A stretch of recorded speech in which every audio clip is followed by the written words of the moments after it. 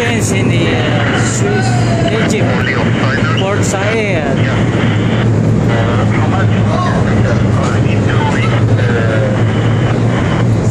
Roger is very happy the crew. It's going home finally.